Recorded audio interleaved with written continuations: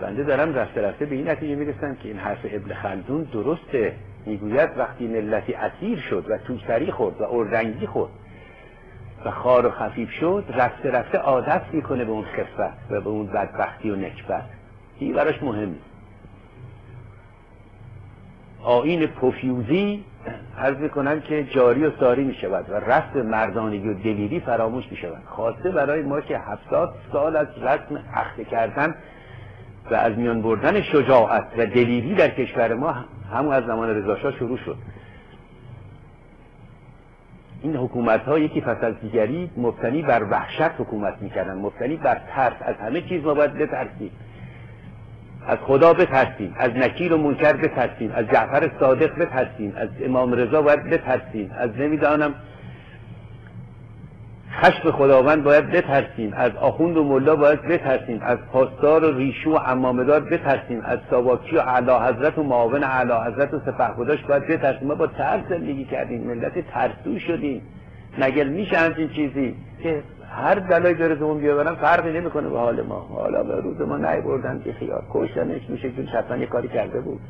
دختر ما رو که نکشتن. الحمدلله رب العالمین. شوهر خوبی براش پیدا می‌کنیم همین روزا. رسمی بی غیرتی هم هموطنان من به چه زوالی باید ارز کنم؟ یک مش آخوند لاشخور با این قیافه های کریه و این امامه های پلید و این این این لاشخورا تو بیابانی عکس خری چیزی میمیره. دیدین لاشخورا رو دور جسدش جمع میشن؟ هر موقع من این رو ببینم یاد اونا میفتم و همینطور هم هستن اینا از جسد استفاده می‌کنن. مردخور هستن اینا. فرزانگی در کار اینها نبوده که. داشتم میخوندم کتاب خونی.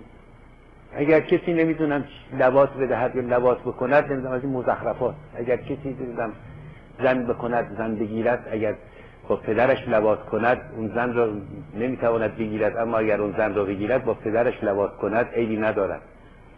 اینا اندیشه های اینا بوده.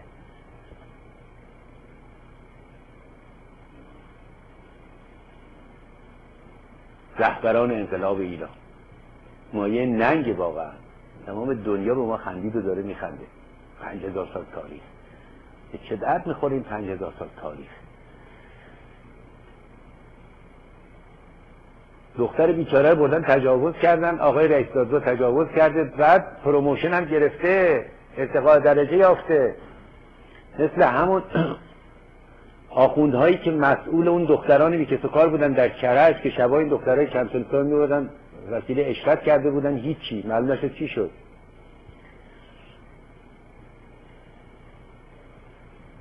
این سمن بی غیرتی رو اسلام در خون ما جاری ساری کرد. اگر نگاه کنیم تا دو سه قرن غیرتمندان بزرگ در این مملکت پیدا شدن و رفته رفته تسلیم شد. گاهی غیرتمندی از بین اشایر اون هم نه در شهرها. ما از شهرها غیرتمند ندیدیم. بلند می‌شد کشور رو نگه میداشت.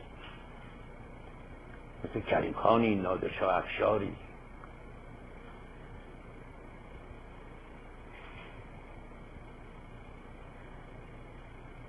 هفتاد سال هست یا بیشتر که رسم بیغیرتی و آین پوفیوزی رو در کشور ما رایج کردن حکومت ها ایجاد روب و وحشت خل اصلاح و اخته کردن ملت شخصیت دودایی اونا شروع کردن نتیجه شد آین خمینی. خمینی هم داره ادامه میده. این حکومت ابو طالبیه هزار برابر شدیدتر. شما نگاه کنید میشه در یک کشوری یک شاعر درست ما نداریم آقا.